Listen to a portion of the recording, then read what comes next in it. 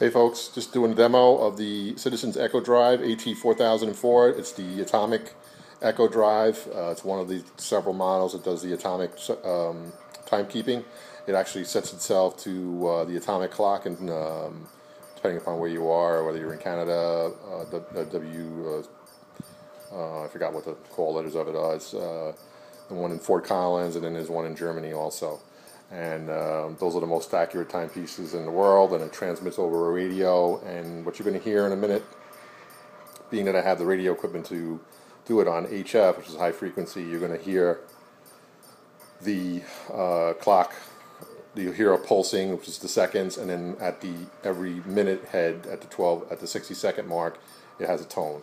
And um, this watch will automatically check that atomic clock via radio at 2 a.m. in the morning and set itself perfectly. And you can also do it manually. You can press a, a series of key, you know, the um, buttons on the side of the watch, and it'll uh, do it during the day anytime you want it to. Just double check it. If you can receive it, it'll do it. So as you can see, we're like 50 seconds away from thing, and you can hear it in the background. Uh, I'm going to show you the. Um, um, radio.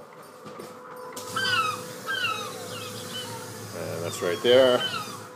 And we're coming around to the 30 second mark, and you can hear that that pulsing. That's the seconds.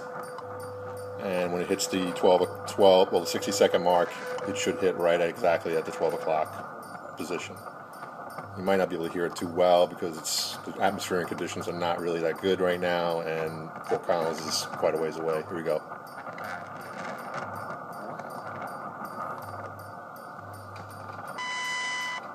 There you go. I see it hit. So that's it. It's a really nice watch. It's a full chronograph. I got it for Father's Day. Really, really nice. I think you can get it for about 400 bucks or a little less, uh, up to about 500 bucks, depending upon where you buy it. And um, takes great time and it sets itself automatically and no batteries. It's a Eco-Drive. Great watch so far. I really like it. Thanks for watching.